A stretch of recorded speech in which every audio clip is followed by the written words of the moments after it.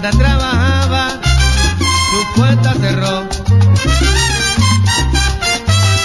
Y un americano, diciéndome sorry, me dio un papelito que dice leyó. Y me encuentro bruja y quiero pagarte, quiero liquidarte y el cheque se fue en la cuentecita que que todos los meses killer.